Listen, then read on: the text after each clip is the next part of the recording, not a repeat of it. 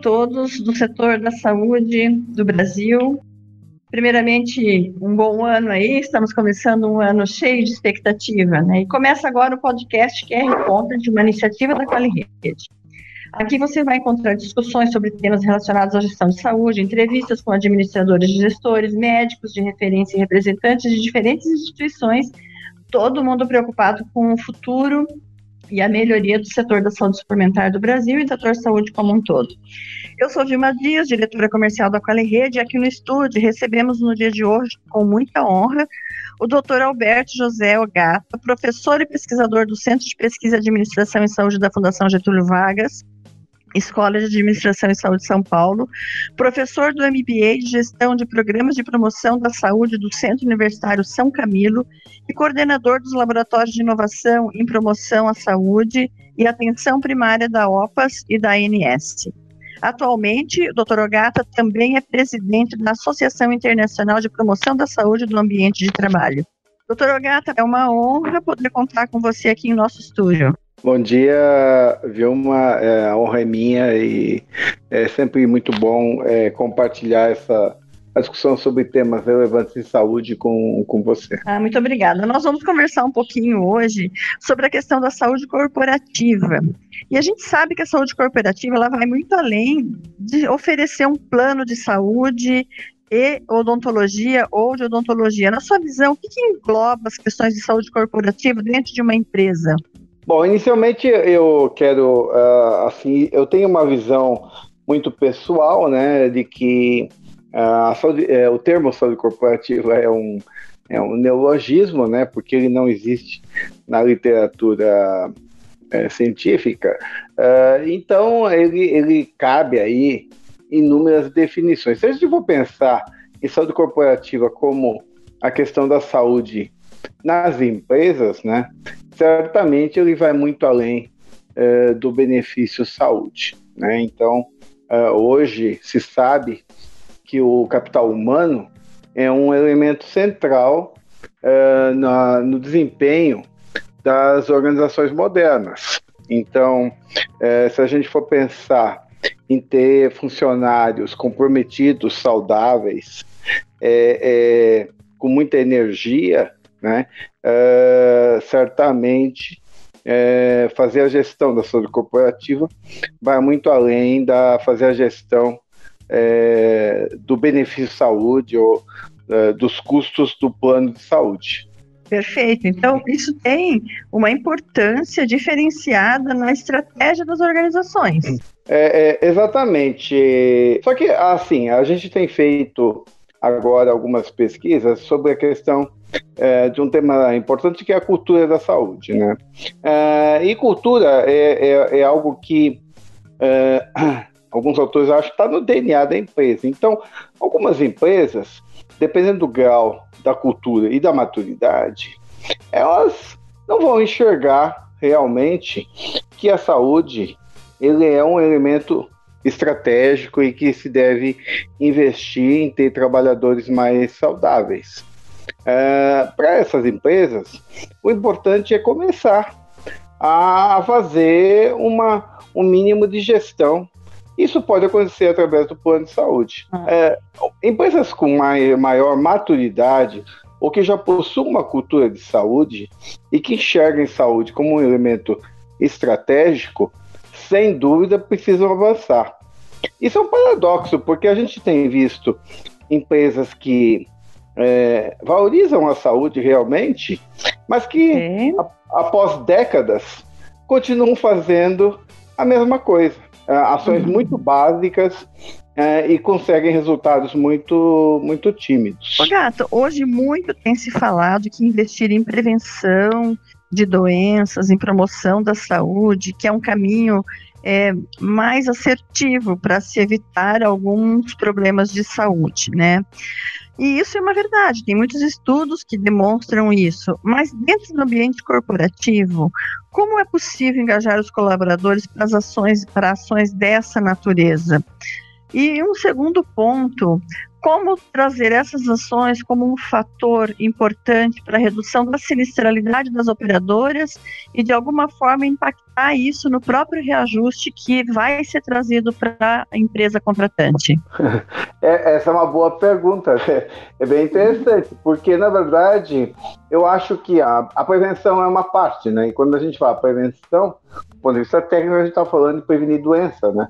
Então, uh, uh, uh, é, em boa parte, a gente é, não consegue realmente ter muito resultado. Agora, eu acho que o primeiro passo é a gente conhecer a população, saber do nossa em uma empresa, é, porque dependendo do, da, do estado da população, a questão não é mais prevenção, né? É manejar as condições crônicas daquele grupo, né? Então, a gente vê a experiência americana, onde tudo que se tem feito não tem obtido resultados importantes em obesidade, por exemplo. Né? Então, eu acho que a gente tem que conhecer a nossa população. Se a gente tem uma população muito jovem, sem dúvida, a gente consegue fazer algumas ações é, é, de promoção da saúde para manter essa população saudável. Mas se eu tenho uma população com mais idade, essas, essas pessoas, em grande parte, já vai ter alguma condição de saúde. Tem hipertensão, tem diabetes, tem problema na coluna, tem depressão, e a gente vai ter que manejar isso, né? Então, uh, eu acho que uh, a questão da prevenção, se a gente for pensar, uh, ela, ela não está na mão do sistema de saúde e provavelmente também não está na mão da empresa, porque isso, uhum. isso, envolve uh, onde a gente vive, o que, que a gente come, como a gente se desloca, uh, se é uma cidade violenta ou não, como que uh, as pessoas ocupam seu tempo de lazer. Agora, eu acho que o que está na mão da empresa, o que está na mão do, da, do plano de saúde, é conhecer aquela população né, e, e fazer estratégias uh, muito claras para melhorar o estado de saúde daquele grupo. Perfeito. Com relação a isso e implementando um pouco mais, quando você fala da gente ter a população, conhecer essa população, nos remete a fazer uma boa gestão da saúde populacional desse conjunto de trabalhadores de uma determinada empresa. E falando de tudo isso, atualmente nós temos discutido bastante sobre a atenção primária à saúde na saúde suplementar. Então, vários várias operadoras implementando, mercado comprando, outras pessoas discutindo e muitas empresas também é, pensando em colocar em seus ambulatórios é, atenção primária à saúde.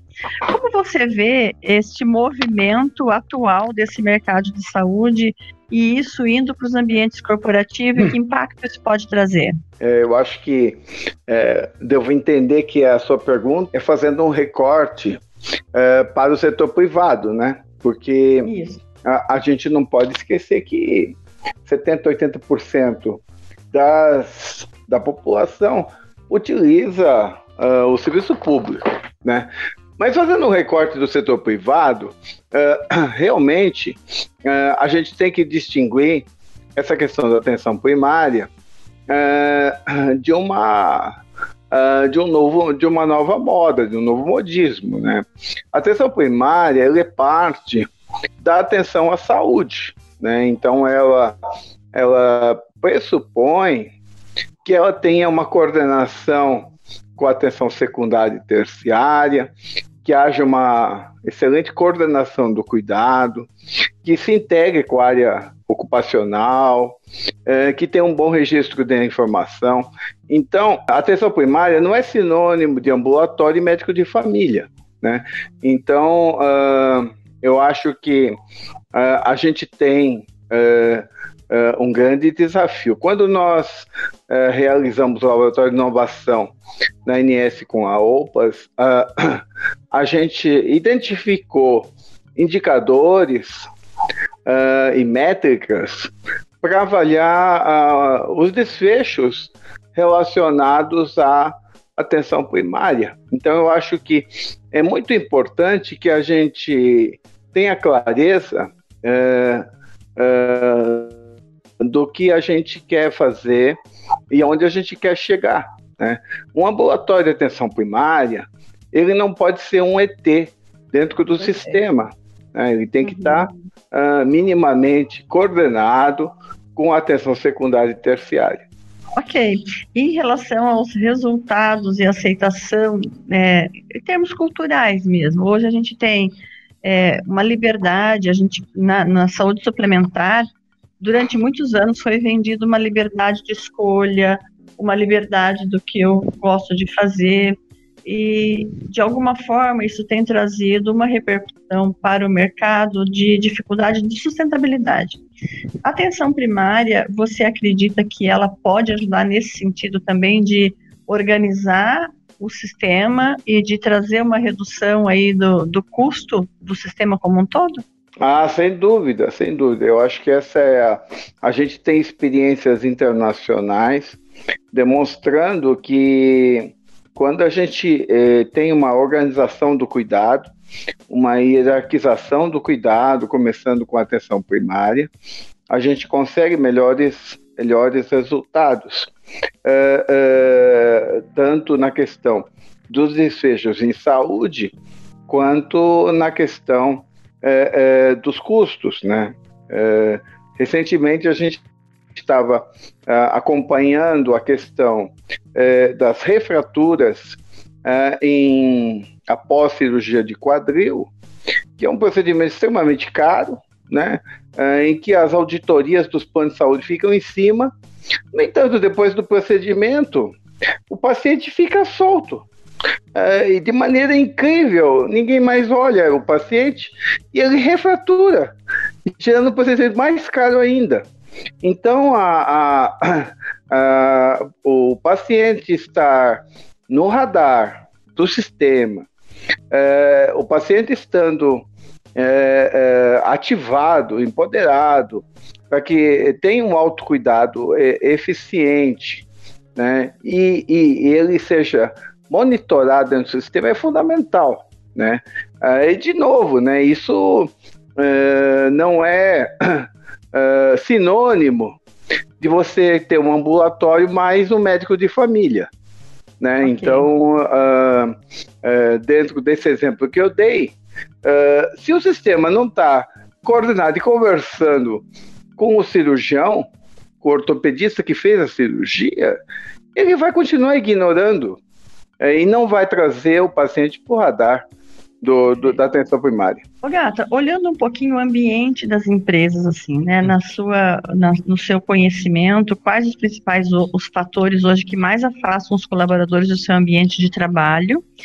E olhando para esses afastamentos, os motivos dos afastamentos e a questão da atenção primária nos ambientes corporativos e a atuação dos planos de saúde, como está hoje essa junção de forças né, da saúde do trabalhador com os planos de saúde, com o serviço de atenção primária, no que toca à prevenção de afastamentos e ao excelente cuidado dos afastados? Bom, se a gente pegar os dados da Previdência Social uh, e pesquisas populacionais, como o Global Burden of Disease, a gente vê que questões musculoesqueléticas uh, uh, estão no topo, né? Então, seguida das questões mentais e emocionais, as enxaquecas e as questões sensoriais, né?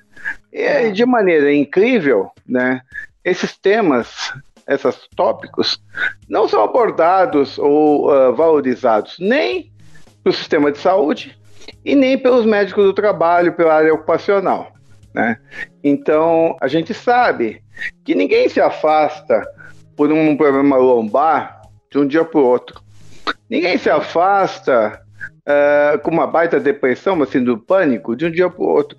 Isso é um processo crônico, uh, no qual uh, a pessoa vai ao pronto-socorro, a pessoa se automedica, e aí coisa vai. Da mesma maneira, fatores que não levam a, a internação, mas são muito comuns, como a enxaqueca.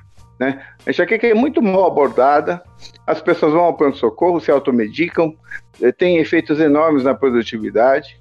E com o envelhecimento da, da população, eu acho que a gente tem que começar a prestar atenção também nas questões sensoriais, principalmente visão e audição, uh, que são fatores que afetam muito o desempenho das pessoas e que, uh, uh, em geral, são negligenciados. Então, uh, resumido, Vilma, eu acho que se a gente vai colocar no radar, são as questões musculoesqueléticas e as questões mentais e emocionais depressão, ansiedade, principalmente. Bem, Gata, nosso tempo está chegando ao final, mas como presidente da Associação Internacional de Promoção da Saúde no Ambiente de Trabalho, que medidas são criadas ou devem ser criadas para manter, então, uma saúde dos colaboradores das, das, diferentes empresas, indústrias, do mercado como um todo, de forma que a gente tenha ambientes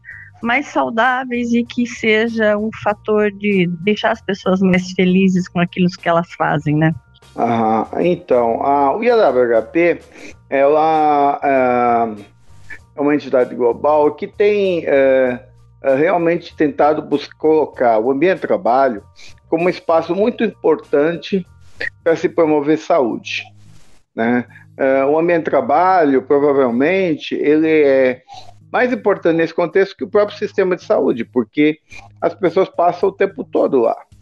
Isso, uh, independentemente do vínculo, sabe? Então, assim, hoje a gente tem considerado no WHP o trabalhador. Ele não precisa estar contratado CLT, okay. sabe? Ele, ele é trabalhador da empresa. Então, uh, considera o trabalho como um espaço importante, uh, ainda não está no radar do sistema de saúde, e a gente precisa. E a nossa, o nosso tópico número um uh, global é saúde mental, e a gente está super focado nisso.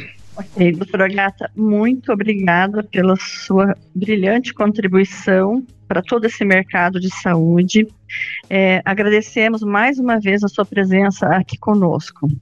É, podcast R Content, que é uma iniciativa da QualiRede e que é líder na gestão em saúde. Saúde é tudo para a QualiRede. Acompanhe os nossos podcasts e conteúdos em nossas redes no prcontent.com.br. E para conhecer um pouco mais sobre o trabalho da QualiRede, convidamos a visitar o nosso site www.qualirede.com.br.